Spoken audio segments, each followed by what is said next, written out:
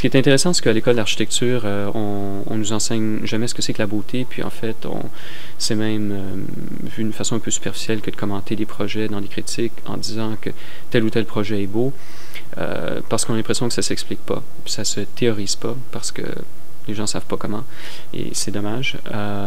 puis pourtant, quand on regarde, quand, un projet est construit, ben c'est à peu près sur les commentaires toujours qui, reviennent, c'est beau, c'est laid, donc, donc on peut pas...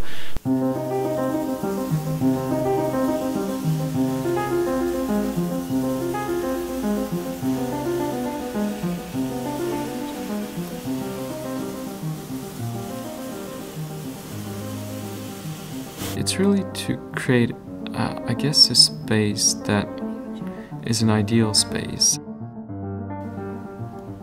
I try to avoid uh, dead ends in architecture, uh, that somehow you're always lured uh, by seeing something far away that you want to go and reach it and that you understand where you are or where you came from.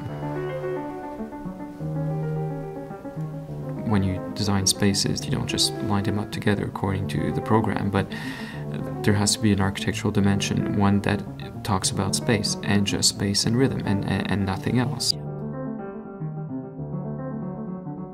I, don't believe that architecture has to be something that is extravagantly proportioned. It's always a repeated process is to find, you know, the best proportion. And, and the best proportion is just really an act of subtlety.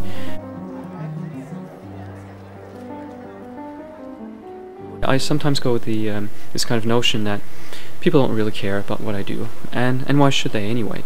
And uh, you know, in a context that people are not being interested, then the interest from architecture has to come from something that just grabs their body, uh, and I think architecture should become unconscious.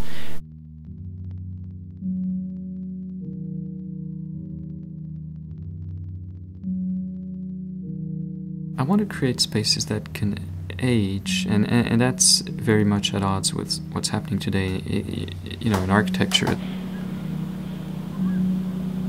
I'd rather have something that's real and that can go through through time.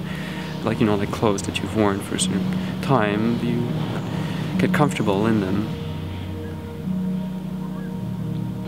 That is really hard to achieve today in, in buildings, um, the, the sense of eternity.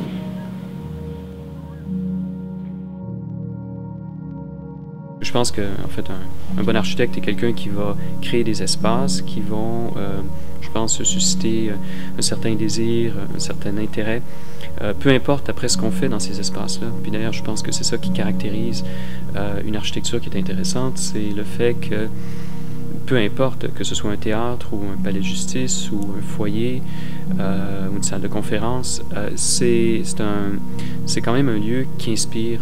Mais là où l'architecture doit euh, attirer les gens sans les faire penser, sans les faire euh, réfléchir, le pouvoir euh, justement de la beauté, c'est également justement de ne pas euh, laisser les gens indifférents.